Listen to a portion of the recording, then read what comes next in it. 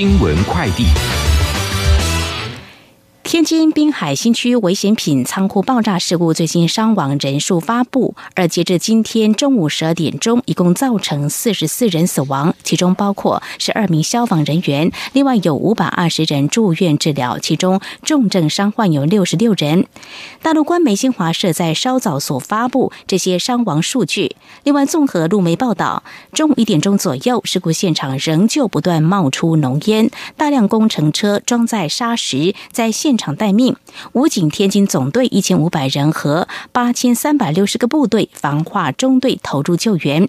此外，距离爆炸现场只有几公里的大陆国家超级计算天津中心楼房受损，满地碎玻璃，局部天花板掉落。虽然超级电脑天河一号还在运算当中，出于安全考量，天河一号目前已经人工关机。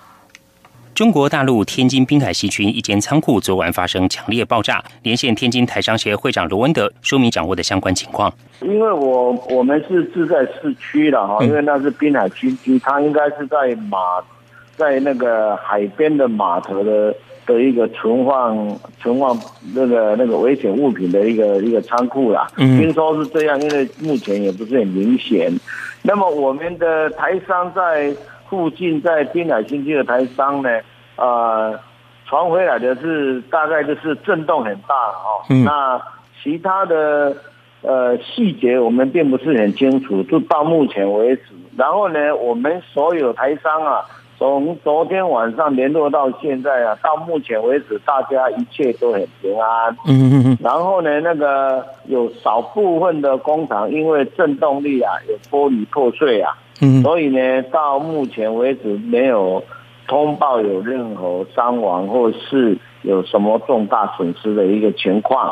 是会长，那爆炸当时就是比较靠近那边的台商跟您回报的时候，说明一下。当时就好像是地震一样，就是就是一个一个很大的一个呃连续两三次的一个一个震动。嗯嗯。所以呢，有的居家就是玻璃啊就震破了，他们以为是是地震。哦。那。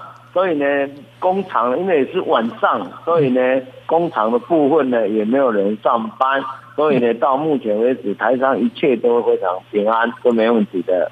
会长，那后续的话，我们会给予当地一些台商其他方面的一些协助，会怎么样来处理？我们目前呢，因为在调查当中哈，但是看来我们所有的台商是没有什么什么太大问题的。至于说那个。呃，可能就是我早上有跟他们联络过，大家大概都是修一修玻璃啊，然后修一修门窗，嗯，呃，就预防那个呃晚晚上的安全的问题而已嘛。其他看来是没没什么问题的。我们一直都在协会啊，都一直在跟每个企业在保持联络呢，基本上都联络完毕了。所以呢，目前台商一切都很平安，都没有问题的。谢谢会长为我们做详尽的说明。谢谢。